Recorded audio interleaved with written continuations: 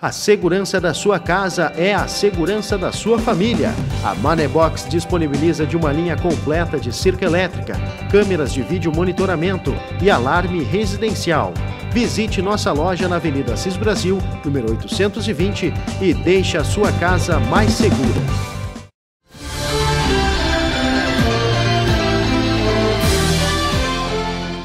Um homem de 37 anos, identificado como Vantuir de Oliveira Taices, que seguia pela rua Cid Albuquerque Jardim em direção ao bairro Arroio Teixeira, foi atropelado na noite do sábado 3 de março.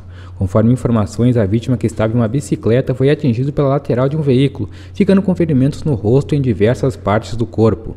A vítima foi socorrida pelo SAMU e encaminhada ao Hospital Nossa Senhora do Carmo em estado grave. Após receber os devidos atendimentos, a vítima foi encaminhada ao Hospital de Pronto Socorro de Porto Alegre. O motorista do veículo Renault Sandero com placas de TAPES informou à polícia não ter visto a bicicleta à direita de seu veículo, não conseguindo evitar a colisão. O teste de etilômetro não foi realizado no local devido ao equipamento da Brigada Militar não estar funcionando. A ocorrência foi registrada na Delegacia de Polícia de TAPES.